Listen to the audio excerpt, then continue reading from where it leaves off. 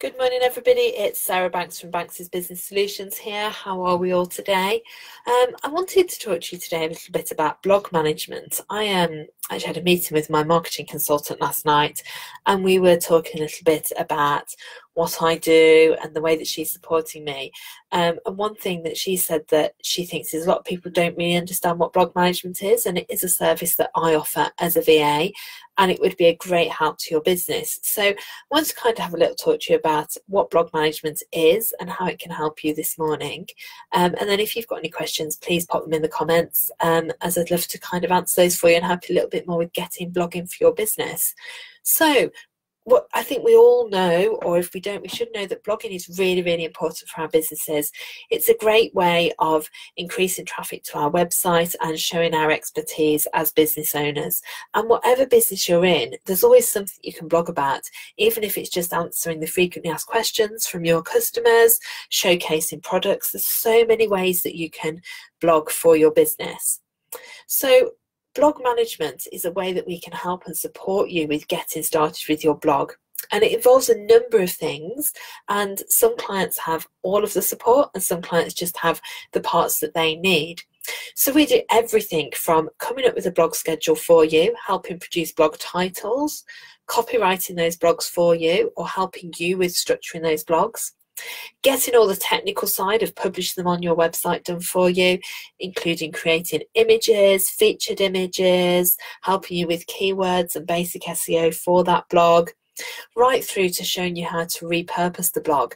Now, every blog has at least three social media posts in it. I've not found one that doesn't have three yet. And those can be shared out across Facebook, Twitter, Instagram, uh, Pinterest, quite often you can turn a blog into a video with some taking some simple key points from it and doing a short live video similar to this that you can then share on YouTube. Creating simple graphics that pull out quotes from the blog that are poignant to your audience is also another great way of repurposing that content. And that's another way that we help business owners. We will go through and we'll catalogue their blogs for them.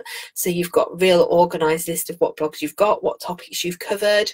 Um, so you can see kind of where the gaps are and where you could do follow-on blogs and then start to help to create those social media posts to help you get those blogs out there and shared more. So that's just a little bit about what we do with blog management. But how does it help you as a business owner? Well, it helps to make you an authority in your field it helps to share your content more and bring more visitors through to your website. SEO is really all about lots of different things coming together.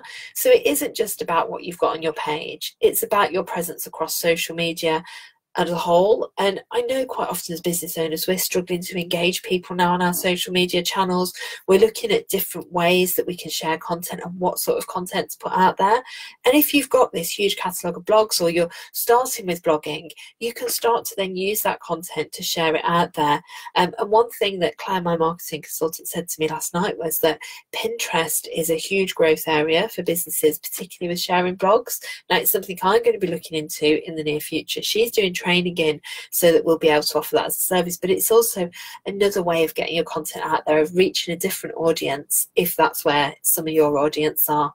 So really hope that you found this video helpful and the tips on blog management today. Obviously, go away, use those tips yourself.